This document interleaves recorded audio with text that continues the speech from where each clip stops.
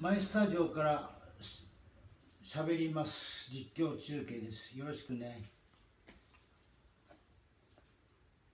最近は筋トレまあマイスタジオでやっておりますがまあ私も年ですからまあ無理はしたくないんでまあ無理してまあ背骨を痛めたり腰を痛めたりしてもまあ無駄なんでそれはある程度適当にやっております。これも一つの、まあ、知恵として、まあ、年いくとそういうことは分かっとるんで、まあ、無理はしないと思っとるんで皆さんも分かっていただければありがたいです。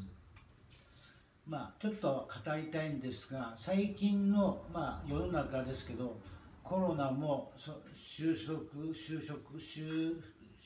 しませんがこれはどうしたらいいんでしょうかね。私も販売店とかお店の訪問はちょっと控えておりますがそろそろまあすることも限られてくるんでこれからはどうしていけばいいか課題です。私の課題をまあまあ持って進んでいけばいいんですけども毎日はまあ長いようで短いんですぐ一日はくれます。無駄な時間を過ごしたくありませんのでこれも一つの、まあ、チャレンジとして、まあ、そろそろ、まあ、お店のとこへちょっと訪問したりしてちょっと行きたいなと思ってるんですが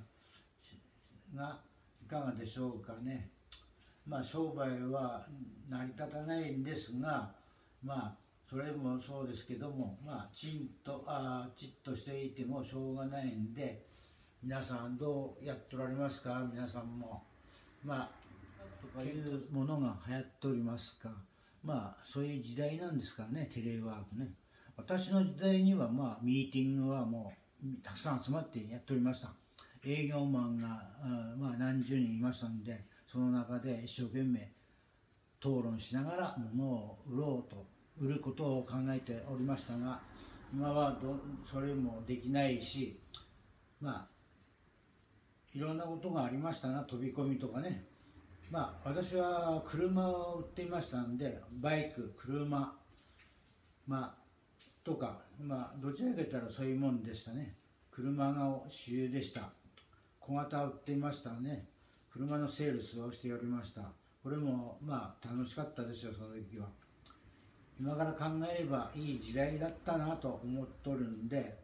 これからはそういう時代もないですけども、まあ、まあ一番楽しかったのはバイクを売っていた頃ですね。今再度ちょっと今昔のお店をちょっと回ってみましたがやっぱ皆さん元気にやっておられましたんでまあこれも一つのまあ景気づけにしてまあ皆さんの、まあ、様子を伺いながらまた参考にしていきたいなと思ってるんで最近思ったことを今しゃべっておりますが皆さん日々どう考えておられますか？よろしくお願いしますね。GO! GO!